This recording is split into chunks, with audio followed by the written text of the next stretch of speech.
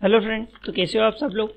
तो आज हम आपको एक और जॉब वैकेंसी लाए हुए हैं, जो कि डाटा एंट्री की जॉब की है, जिसको देखते हैं C E S L recruitment junior data entry operator vacancy तो इसकी वैकेंसी क्या क्या है, वो भी बताने वाले हैं। इसकी कितनी आपको सैलरी पे करेंगे ये लोग, क्या क्वालिफिकेशन चाहिए, ठीक है? और कैसे हम इसका फॉर्म भर सकते हैं। इसकी पूरी डिटेल अब हम आपको देने वाले हैं। तो आप लास्ट तक बनिएगा, रुकिएगा मत, ठीक है? कहीं बीच में छोड़ के मत जाइएगा। तो देखो कंपनी का नाम है एस ई सी एल है post name junior data entry operator eighty eight post इसमें आई हुई है। न्यू जॉब अपडेट्स के लिए हमारे चैनल को सब्सक्राइब करना मत भूलिएगा। देखो जॉब लोकेशन जो आती है यहाँ पर, वो बिलासपुर है। लास्ट डेट अप्लाई जो है, उनतीस दस दो हज़ार बीस को उसके लास्ट डेट अप्लाई है और ये छत्तीसगढ़ गवर्नमेंट जॉब के जैसी है। इसका जो सिलेक्शन प्रोसेसिंग होता है, वो रिटर्न देखो, जो जूनियर डाटा एंट्री ऑपरेटर है, उसके लिए रिटर्न टेस्ट होता है सिक्सटी मार्क्स का।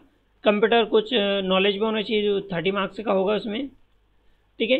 क्वालिफिकेशन भी होगा टेन मार्क्स का, और यानी कि marks of qualification marks ten marks इसमें, और हंड्रेड मार्क्स का टोटल होता है। Observer civil staff nurse pharmacist technical pathological junior technical ECG technical radiographer और जूनियर केमिस्ट की है इंस्पेक्टर की है टेक्निकल इसमें भी हंड्रेड मार्क्स का जो रिटर्न होता है और कम, जो कंप्यूटर प्रोपेंसी है, वो कोई एप्लीकेबल नहीं है मार्क्स ऑफ़ क्वालिफिकेशन अप्लाई नहीं मतलब कि नो एग्ज़ाम बस ऐसे ही आपको एक फॉर्मेलिटी के लिए देना है। रिटर्न टेस्ट भी conduct O M R sheet पर आपको कंडक्ट किया जाएगा नेगेटिव मार्किंग रॉन्ग आंसर ठीक है? नो नेगेटिव मार्किंग है, ठीक है? General category forty percent off है इसमें, और एस टी के लिए थर्टी फाइव परसेंट ऑफ़ दे रखा है, ठीक है? अब हम इसकी बात करते हैं क्वालिफिकेशन की तो international notification for internal notification for departmental selection of the post in the card ठीक है?